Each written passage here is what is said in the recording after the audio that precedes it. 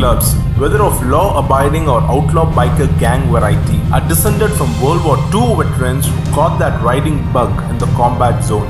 But what role exactly did the motorcycles play in the military? Okay, one is out, Sally. Check it out, there, good. Roger. It's just so in there, what do I hear? That's fine, that's fucking, uh, dude, the first time we're going in, my ears popped, this what we're gonna hear, we were coming out, breaking around the line, where we got together, that matter, and probably taking a swallow. Most of us are familiar with tanks, Humvees, and other vehicles used in the military. Next to a jeep or a tank, a two-wheel vehicle that leaves its operator exposed seems a poor choice for an army vehicle. When bullets and frag can come from any direction, you can imagine the sound of rounds bouncing off a few inches of steel would be pretty reassuring. They are dangerous even without the threat of the enemy present. But even with all those limitations, there have been many times in combat where speed and agility is exactly what was needed.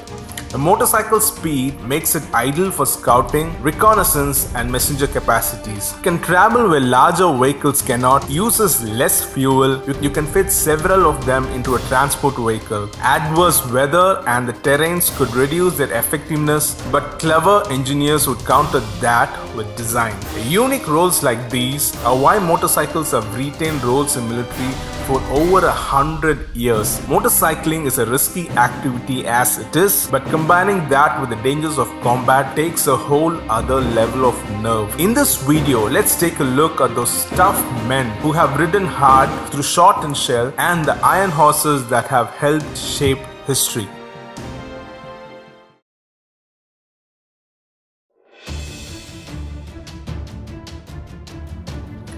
In 1916, the US was involved in a conflict with Pancho Villa, a Mexican revolutionary. Pancho Villa may be one of the most recognizable names in both Mexican and American history. On March 9, 1916, Pancho Villa orchestrated a series of border raids in Columbus, New Mexico that had the army scrambling. An attack force under the command of General John Blackjack Pershing was sent off by President Woodrow Wilson to track down and bring Pancho Villa to justice and neutralize his army. General John Blackjack Pershing instituted maneuver warfare which emphasized speed and mobility. He recognized that Harley Davidson motorcycles would meet these criteria. Although the US Army had been testing motorcycles since 1913, it wasn't until General John Blackjack Pershing ordered them for the use in conflict between the US forces and Mexican revolutionaries led by Pancho Villa. Pershing thought that the motorcycles would be perfect vehicle for traveling through the rugged deserts of Mexico in pursuit of Pancho Villa. At that time, Harley Davidson was producing the J series motorcycles, which were powered by a 61 cubic inch F head engine and capable of speeds up to 60 miles per hour. The US Army ordered these in a variety of configurations, including standard motorcycles for troop transport, sidecar equipped motorcycles for command transport, sidecar equipped motorcycles with machine guns, and sidecar equipped motorcycles to carry supplies and ammunition. Pershing and the US Army were very impressed by the performance of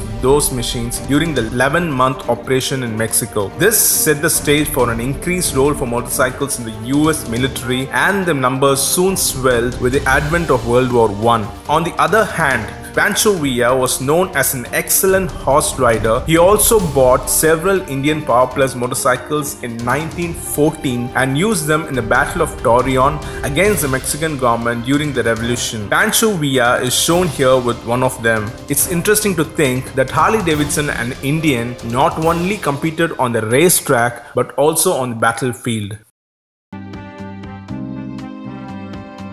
World War I brought about the first wide scale use of motorcycles in the military. 50,000 Indian motorcycles and 20,000 Harley Davidson motorcycles were ordered for the war. Entire infantry units were mobilized for motorcycles in the trench warfare. Motorcycles were utilized in combat, loaded with a variety of features such as machine guns and stretchers to transport the wounded soldiers. However, the military found the greatest use was the speed for reconnaissance missions, security patrols, and communication in delivering messages such as orders between the units. Pigeon lofts were also mounted on sidecars, and pigeons were used often as message carriers in addition to the telegraph, telephone, and short-wave radio communication. Some pigeons were so reliable they were cited for meritorious service during the World War I.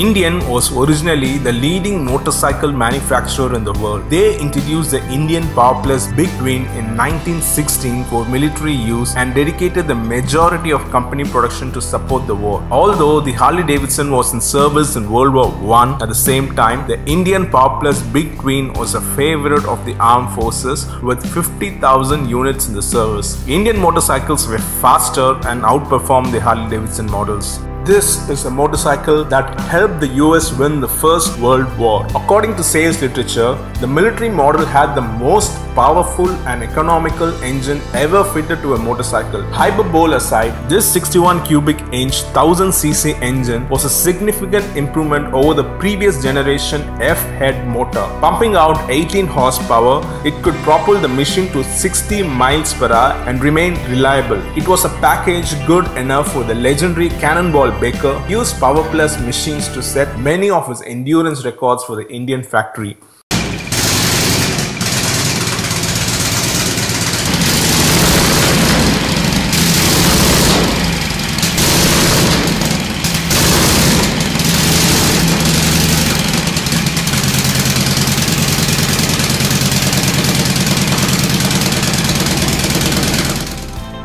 Following the war, products to sell, Harley Davidson dealers fared better than their Indian counterparts in the lean years. And when the war was ended, Harley Davidson was able to go right back to selling motorcycles to civilians. Unfortunately, the Indian had a difficult time repositioning itself for the civilian production market, a dilemma from which it would never truly recover. In the end, Indian won the war but lost the battle. England's sole remaining motorcycle company, ironically founded by two German immigrants, Siegfried Bettmann and Moritz Schulte, followed the predictable path from bicycle builder to motorcycle maker at the turn of the 20th century. At the beginning of the First World War in 1914, amongst Triumph's first customers for the bike was the British government. The Royal Engineers Signal needed effective communication with the frontline troops and replaced messengers on horses with dispatch riders on motorcycles. Competitive trials against other brands had proved the head's worth and the purchase orders were drawn up. With the rear wheel driven by a belt, the Model H was fitted with a 499cc air-cooled 4-stroke single-cylinder engine. It was also the first Triumph not to be fitted with pedals, so was a true motorcycle. Nicknamed the Trusty Triumph due to its great reliability under difficult conditions in the First World War, a total of 30,000 machines were produced for military service by the end of the war in 1918. It was essentially an updated Model H but with just a kickstart and no pedals like the previous models. A chain primary drive connected the engine to the Sturmey Archer hand-operated gearbox which was then linked to a belt final drive. Like their American allies, the Brits outfitted the trusty Triumphs with sidecars, machine guns, etc.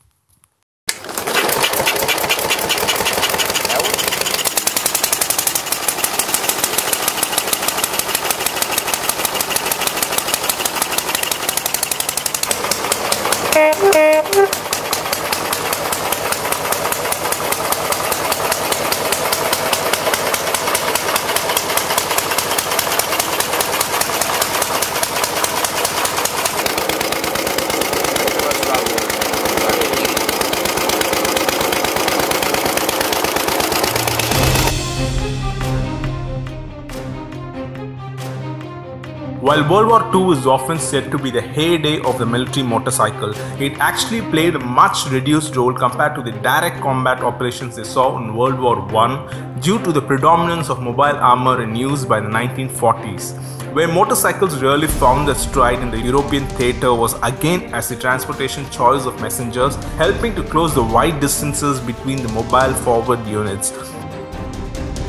By World War II, Harley Davidson was leading the American motorcycles. They continued to upgrade the designs for faster, more powerful bikes. In 1940, they introduced the WLA, aka the Liberator. The design was taken from the popular WL civilian model and upgraded for military use. The WLA was equipped with a 45 inch flathead motor, 740cc V-twin engine with a horsepower of 23. It was fast, repairs were simple, and it could take a beating on the road. Though the WLAs were no longer outfitted with combat gear and were used strictly for message dispatching between formations, they were still equipped with accessories like heavy duty luggage rack for radios, ammo box, leather Thompson submachine guns cupboard, skid plate, leg protectors, and windshield could be fitted. Most came with at least these accessories, less the windshield or leg protectors. A secondary set of blackout lights were added, which diffuse the light to reduce the bike's nighttime visibility to the observers. By the end of World War II, Harley Davidson had built almost 70,000 units for the troops, but they continued to produce WLAs for civilians as well.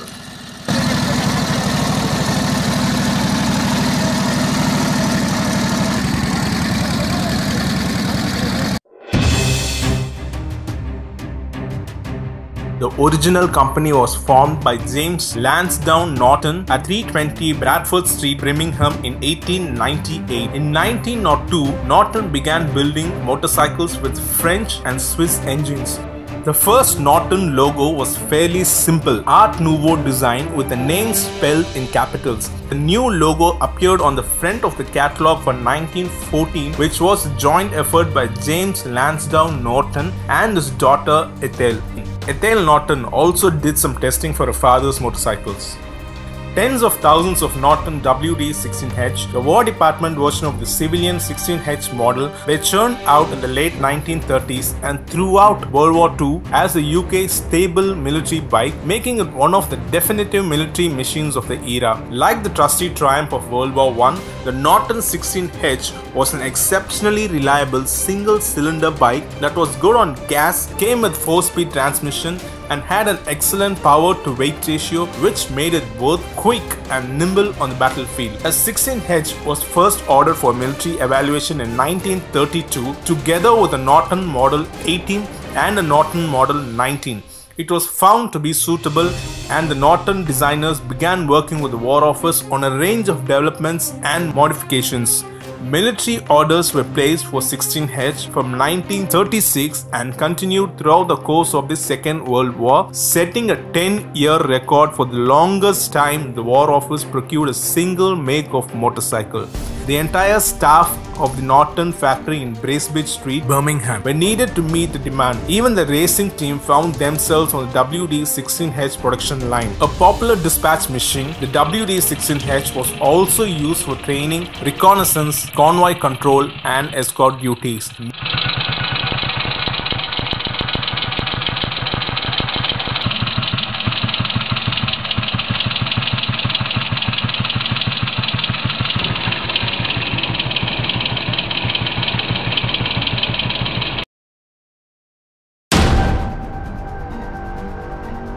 At the time of Crimean War, 14 gunsmiths formed the Birmingham Small Arms Trade Association. In June 1861, the Birmingham Small Arms Company was formed, and in 1863, a factory was built at Small Heath on the edge of Birmingham. Valentine Page, a veteran British motorcycle designer who worked for several of the UK's leading marques, including Ariel, Triumph, and BSA, was charged with creating a 500cc side valve single cylinder with lots of torque for the British military and the BSA M20 was the result. The side valve single engine on the BSA M20 was simple and rugged, making it ideal in combat situations. Viewed as a near failure in the eyes of the War Office in 1936, this model was ultimately to evolve into perhaps the most illustrious and longest serving model in the history of British military motorcycling, not to mention becoming the most numerous type produced for the War Office with 1,26,000 in active service. Many are still in use around the world today. Criticized for being heavy and slow with poor ground clearance, it was saved by its reliability, ease of maintenance.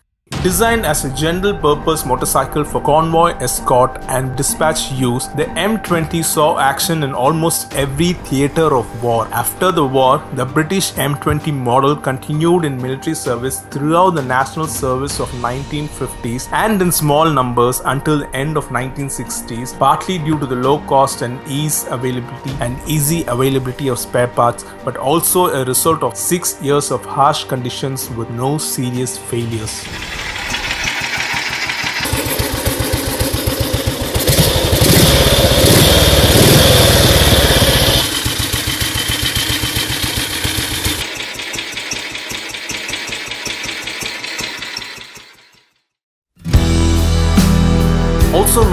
Flying Flea, the Royal Enfield WDRE was a 126cc air-cooled two-stroke single-cylinder bike that weighed less than 60 kilos. During the 1930s, the DKW motorcycles of Germany had exported the RT100 model to the Netherlands. However, the Dutch importer RS Stokvis and Sons had Jewish directors and in 1938, DKW was forced to withdraw the franchise when Nazi government banned trading with Jewish-owned businesses.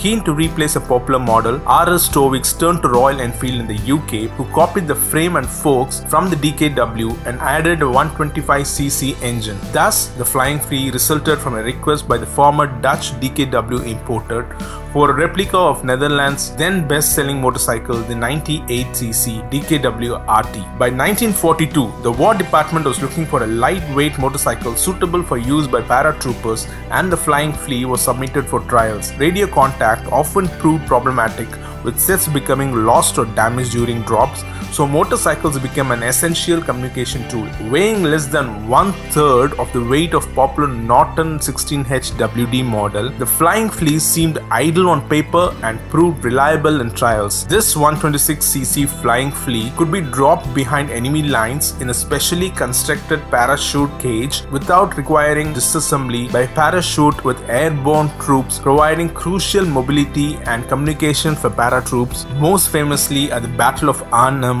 in 1944.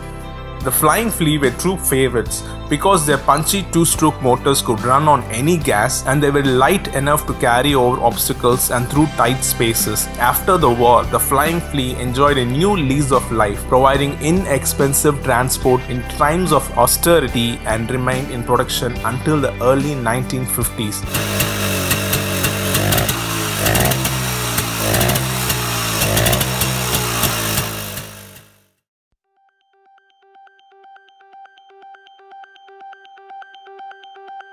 Harley Davidson had been building motorcycles since 1906. BMW got a much later start around 1921, but by the time the World War II rolled out, BMW's design and engineering was already world class. When the German Armed Forces, aka Wehrmacht, provided specifications for a sidecar equipped machine, BMW was ready. BMW opted to improve on the R71's motor to better meet the military's demands. Choosing a 745cc opposed twin design, the company developed its newest model, the R75. Able to crawl at low speeds for hours as well as handle rough terrain at high speed, the R75 could be equipped with a wide variety of armament including the Mauser MG34 the BMW R75 sidecar outfit that the Wehrmacht used so effectively and in such great numbers in every theatre of its operation during the World War II was no mere sidecar combination but a purpose-built cross-country vehicle. Designed by engineer and racing driver Alex von Falkenhausen, it was powered by a 745cc overhead valve engine housed in a tubular steel frame and it employed an ingenious transmission system featuring shaft drive to both rear and sidecar vehicles and two-stage gearing. Sidecars were popular in Germany, perhaps more popular than in the United States, where Americans aspired to drive around in automobiles. Sidecars placed a lot of stress on a motorcycle frame, but in thrifty Germany, with one passenger in the sidecar and another behind the driver, a sidecar-equipped motorcycle was an economical way to transport three people. BMW made their frames strong enough to handle that load. At some point, Allied troops captured a German R-71 or R-75 and sent it back home to be studied. Once the US engineers had ripped the bike apart, converted the metric to standard and reverse engineered the manufacturing technology, Harley Davidson was then tasked with producing a similar shaft-driven design. The results of their efforts, the Harley Davidson XA.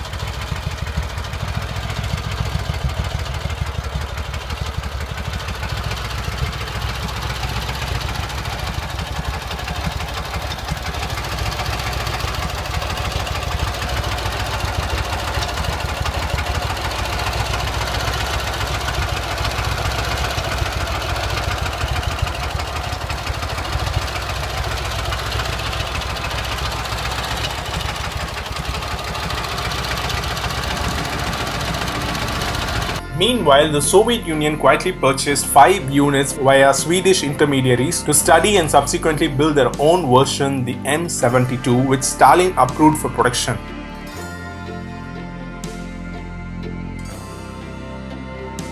Chinese variant of the M72, the CJ750, has been in production since 1957. As the war was drawing to close, Hitler demanded that any functioning production facilities should be destroyed so as not to fall into the Allied forces' hands. Like luckily for BMW, Milbertshofen assembly plant was spared further damage, allowing the production to begin again after the war.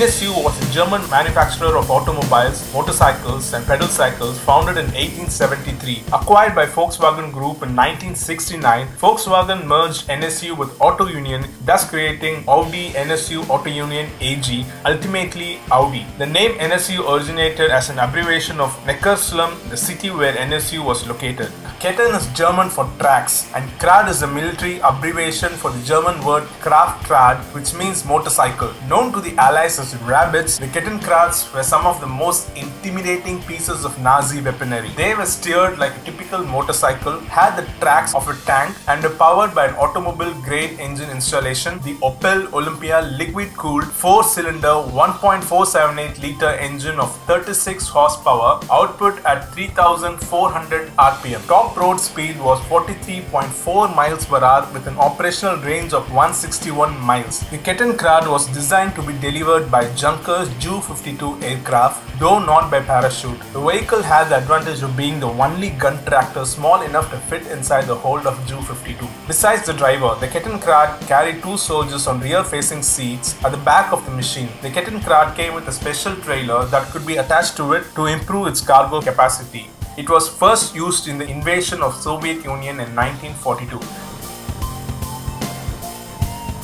The vehicle's front wheel gave stability to high-speed driving. The vehicle provided steering via the handlebars in gentle curves. For tighter turns, the Kettenkrad automatically engaged its tread brakes. For severe off-road use, the vehicle's manual recommended removal of the front wheel, turning the Kettenkrad into a pure track tractor. This configuration was effective in deep mud or loose rock where the traction was at premium and speeds were low. They sometimes pull the new Me-262 fighter jet into takeoff position. In order to save aviation fuel, a German jet aircraft would be towed to the runway rather than taxing under its own power. Wartime production of Kettenkrad ceased in 1945, but NSU manufactured the vehicle until 1949 for agriculture purposes. Between 8,000 and 9,000 machines were made during the war and another 550 post-war. The concept of tracked motorcycle was never followed and Kettenkrad will probably remain one of its kind forever.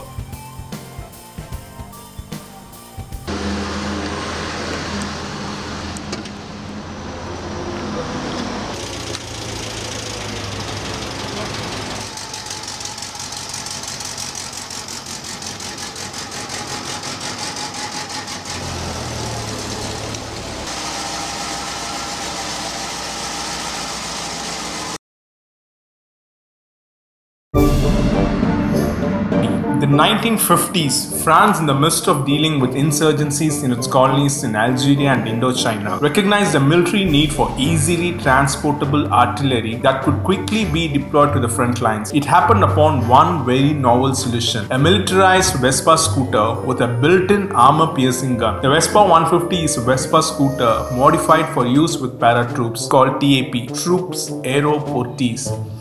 Introduced in 1956 and updated in 1959, it was produced by a company called ACMA, the licensed assembler of Vespas in France at that time. The Vespa TAP was equipped with an M20 recoilless rifle, capacity for additional ammunition, two cans of fuel, and a small cart. Despite an unmistakably different profile, the Vespa 150 TAP differed little from the Vespa scooter of that time. It used a 150cc two-stroke engine derived by ACMA from the Vespa 125 motor and gave it a top speed of just 40 miles per hour, that is 64 kilometers per hour. Due to the lack of any kind of aiming devices, the recoilless rifle was never designed to be fired from the scooter. The gun was mounted on a tripod which was also carried by the scooter before being fired. However, in an emergency, it could be fired while in the frame and while the scooter was moving. Outfitted with an M20 recoilless rifle, the TAP proved more than capable of destroying makeshift fortifications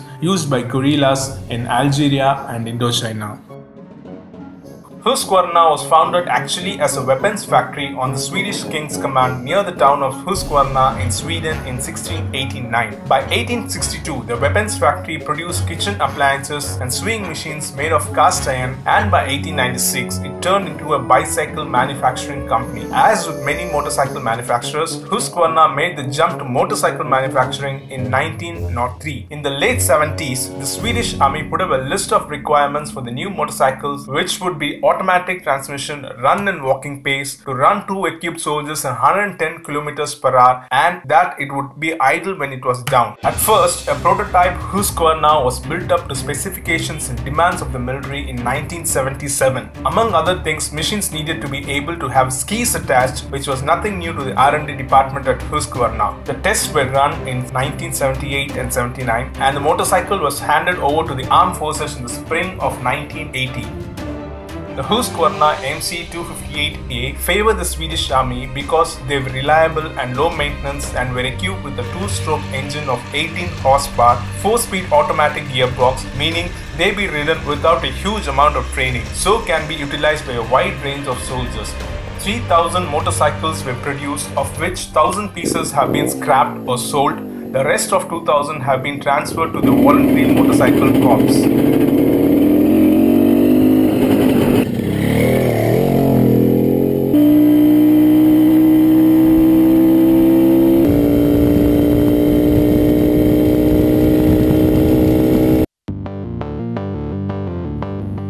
1982, CCM Armstrong, a relatively small company based in Bolton, Greater Manchester, has a renowned history for competition success dating back to the early 1970s. The Armstrong MT500 acquired the rights to the Rotax engine enduro motorcycle SWM XN Tornado from the Italian owners and developed the MT500 for use by the British Army in the Falkland War. Electric start models were built for the Canadian and Jordanian armed forces.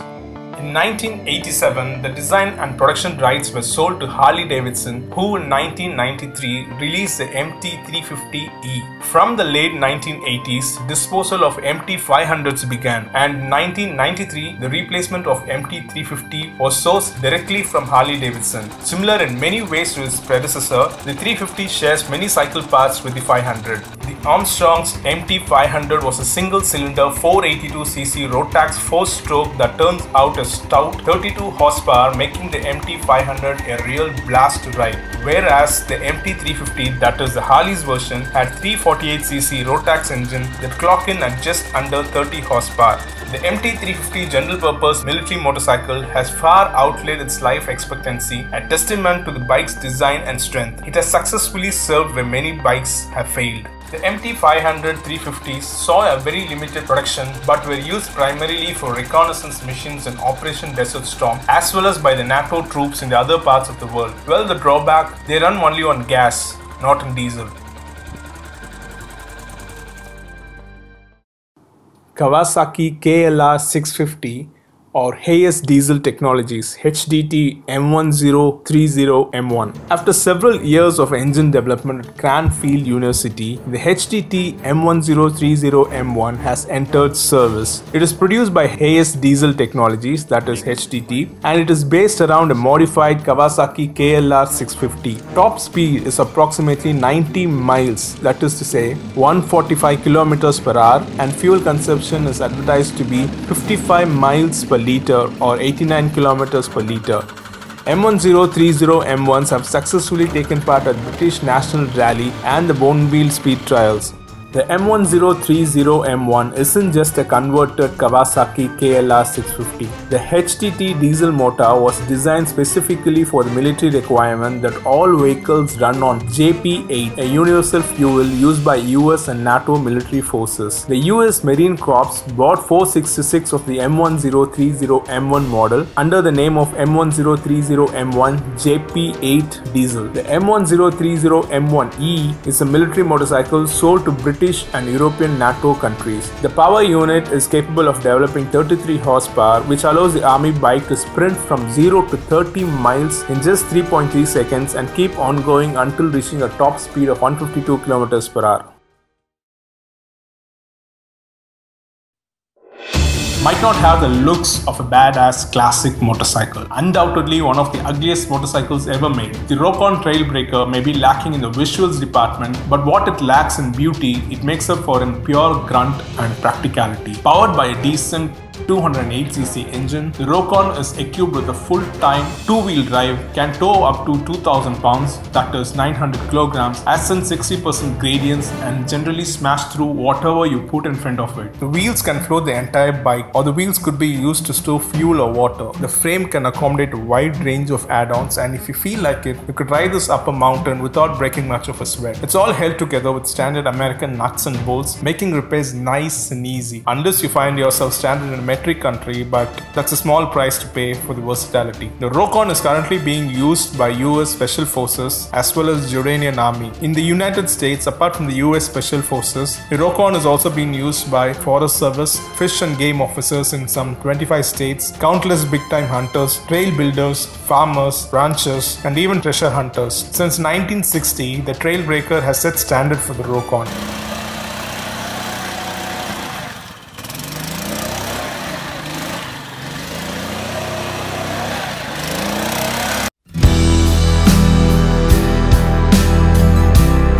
Special Forces utilizes a small number of Zero MMX electric motorcycles made by Zero Motorcycles. Zero Motorcycles is an American manufacturer of electric motorcycles it was started in 2006 by Neal Saiki, a former NASA engineer in Santa Cruz, California. The company is now located nearby in Scotts Valley. They are black, steel, and virtually silent, perfect for getting in and getting out back quickly while undetected. They deliver 54 horsepower, 68 pound-foot of torque, and was developed strictly for US Special Operation Forces and require no maintenance. One battery charge lasts for over 3,500 hours. The Zero motorcycles have been used for reconnaissance missions, rescues, and covert operations. We won't likely ever see motorcycle orders in the tens of thousands again for military use, but our favorite two wheel machines will always have their historical role in the armed forces.